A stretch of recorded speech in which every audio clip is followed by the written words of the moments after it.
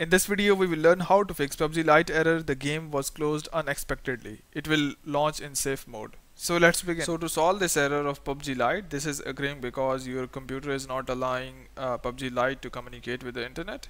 For that just go to your start and type in here for control panel. Here we have control panel, open it. Now click on system and security. Now click on Windows Defender Firewall and now click on allow an app or feature through Windows Defender Firewall. Now click on change settings. Once you are here scroll down below and search for PUBG Lite. So here we have PUBG Lite you, so you can see that.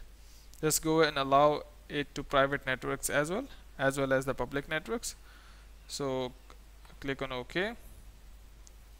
Close it and now if you have any antivirus like in my case I have Bitdefender go and open your antivirus and turn off the firewall for the internet or current scanning firewall. So what you can do is just go and turn off the antivirus for a while when you are playing the PUBG Lite. So in my case it is a protection shield. Just go and turn it off and close it. And now you can just go and open your PUBG Lite and play it so hope it would help but before you go please like subscribe and share. Thank you